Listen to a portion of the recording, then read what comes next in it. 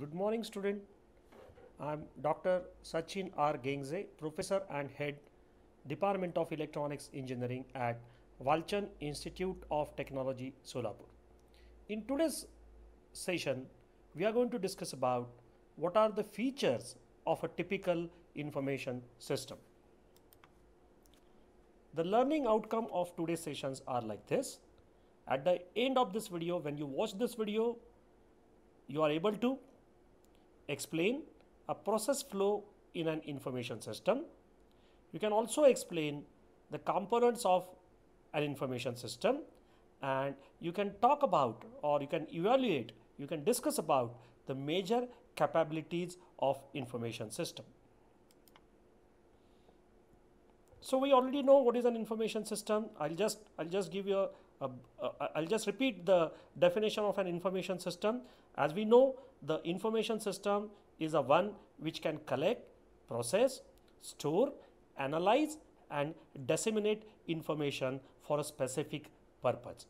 Take as i said take an example of banking. It can collect it can collect the information. It can process the information. When we are withdrawing the money from our account then our uh, our account balance should be should be deducted by by that much of amount. Then it is a processing. Then my banking account information is stored there can be an analysis also. For example the bank manager can look into the different customers and can find out who are the valuable customers and who are uh, who are the customer which which may, which are not that valuable.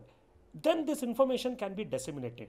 This information can be disseminated internally into the bank with the managers and clerks or this information can also be disseminated with the customer for example when i'm withdrawing money i get an sms from the bank so that is nothing but the uh, dissemination of information so the information system basically collect process store analyze and disseminate information for a specific purpose. So the purpose is important. For example, the system which I am talking about is a banking system or a saving bank account, my saving bank account. So that is a specific purpose when we are talking about the information system we are we are uh, definitely talking about a computer based information system and not the manual information system which uses the different digital technology. It uses laptops it uses computer it uses your smartphones it uses all the communication media and and then it is called as a computer based or a digital information system.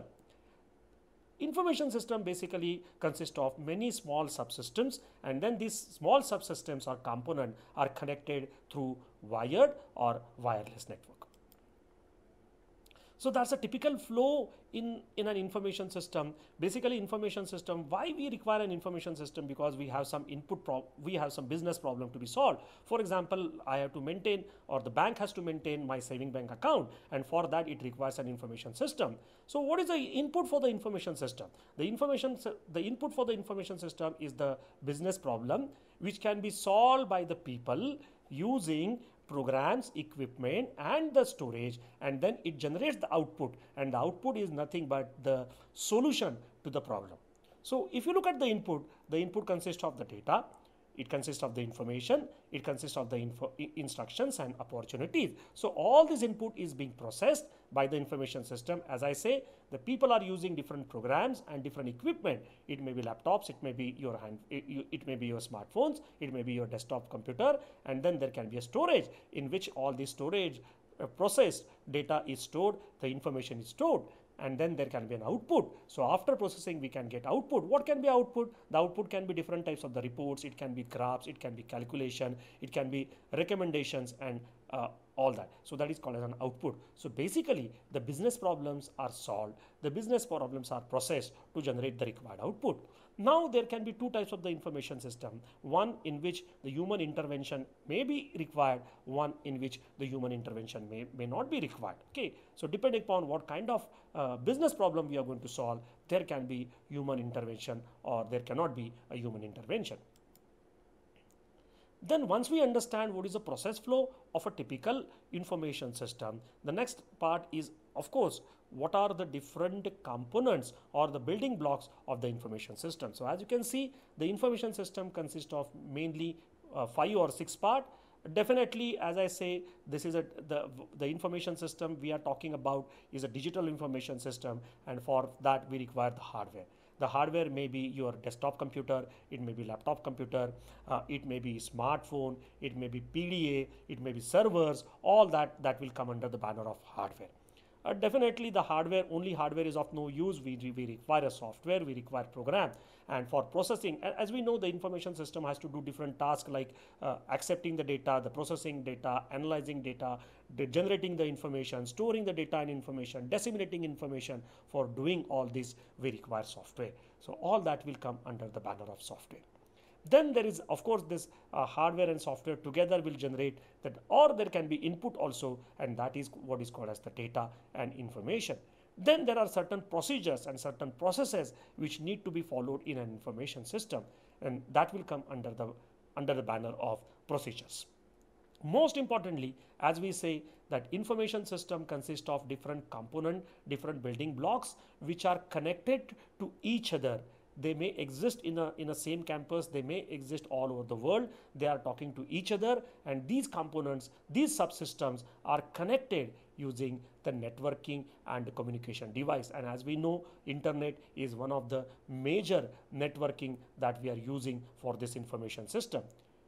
Then, then there is something called as a user interface. Ultimately the information system are made to help the people and then the people has to interact with the information system and that interaction is going to take with what is called as the human or user interface. So it consists of the different GUIs, uh, different types of the GUIs, the, uh, the GUI which is required for desktop or for laptop or mobile view and all that. So all that is called as the user interface. And mostly the basic there should be a purpose of designing the information system. The information system should have a particular application, a particular purpose, and that is also that is also taken as the one of the building block of the information system. So as we as we can see over this is very important to un understand that the typical information system consists of a hardware, a software, then there is there has to be data and information. There are there has to be some procedure to be followed. All these are talking to each other using networking and communication. And and in some of the cases or on in most most of the cases the information system is meant for the human or for the people for the benefit of the people for the assistance of the people and it must have the human interface or the user interface and then there has to be purpose or application for which this information system is being designed we you're requested to pause the video here for uh, some time and uh, just think about what are the different building blocks of a typical information system try, uh, try to name them and uh, what is the purpose of each of the building block. And then you can take you can explain one of the example where in how these uh, different building blocks are being utilized in that particular information system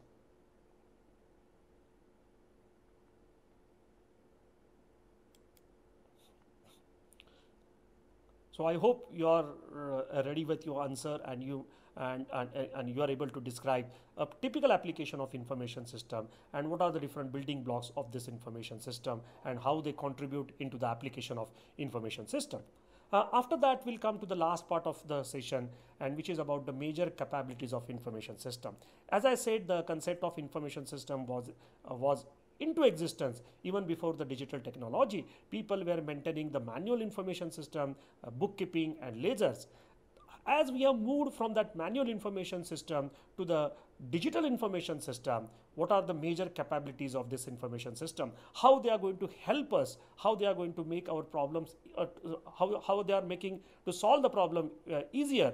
Uh, that is what is called as the major capabilities of the information system. So let us understand what are the what are these capabilities. First, they perform high speed, high volume computation. As we know, computers are, uh, today's computers are very fast in processing the data and that's why as we are using this computers for uh, processing our data, the information system itself is a very high speed and high volume.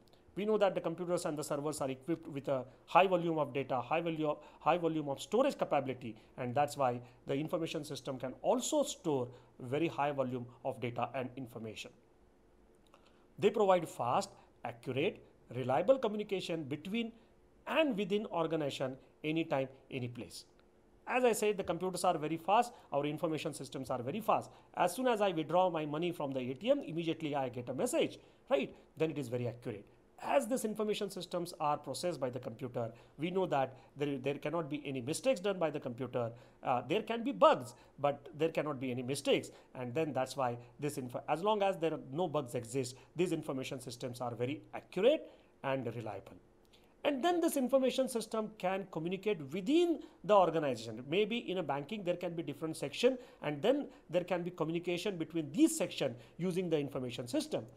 Or it is between the communication may be between the bank and the customer. So that is the uh, all they are all this type of communication the internal communication and the external communication is possible with the information system and anytime any place. Previously the bank was only open from uh, 10 in the morning up to 3 o'clock in the afternoon. But now if i have an atm card i don't need to go to a bank. I can i can even i can withdraw my money at 12, 12 o'clock at the night. I can go to any atm at any place my bank account may be with a particular branch, but if I have an ATM card or if I have a debit card or a credit card, I can go to any of the ATM center across the globe and I can withdraw the money at any time at any place. So this capability is possible only because of the information system.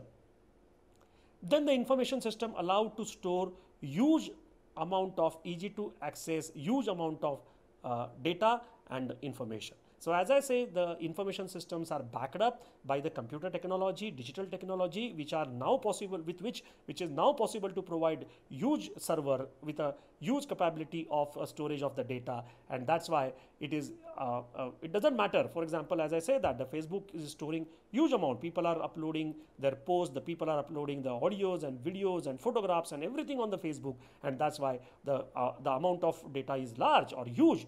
But at the same time, uh, it, that data can be accessed. I, I, can just go on Facebook and see that what is a post I have posted one year back, and within few seconds I get that, or, or within fraction of the second I get that answer. So although the data is large, the processing of the data is fast, and the retrieval of the data is also fast.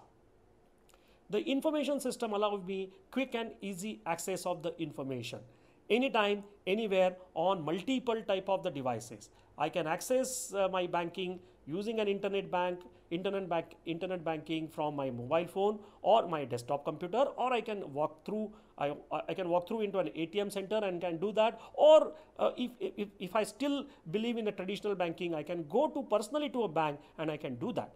So it, it means that it is a very easy, quick access of information anytime, anywhere on multiple devices. The devices are all digital, they are all connected, they are all smart and I can use them. Then the information system allow you to present with the graphs and chart which is very important for analysis or rather understanding or interpreting the information. If the information is only presented in a tabular format then it will be difficult but if the table is converted into a graph then I can I can understand that graph I can uh, I can get whatever I want out of that graph very easily and that is also one of the major capability of the information. And lastly, the information system allow you to facilitate work in an hazardous environment. So where uh, it is not possible to depute uh, the human, I think that there we can we can put the information system or we and then that information system can work, can collect the data, can process the data. So these are the major capabilities of the information system and that's why as we know the information systems are becoming more and more, more popular in today's world. With that we come to the end of this session in which we discussed about the different features and capabilities of the information system. The references uh, to be followed for this session, it include two of the books. The first book is Information Technology for Management by Turban and Volonino and then it is from the Wiley Student Edition and it's a second edition. And the second book is from Cengage Learning and it and and its name is Information System and it's by Stair and Reynolds. You student for patient here.